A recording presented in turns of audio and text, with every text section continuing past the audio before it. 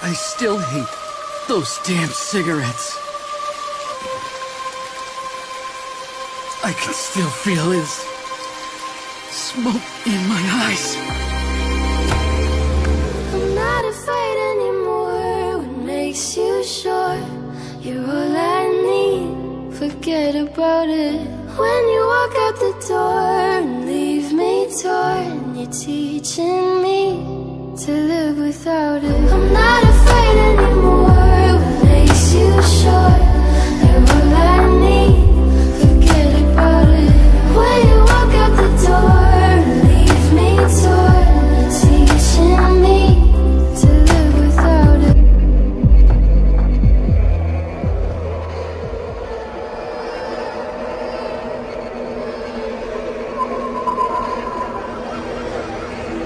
Thank you.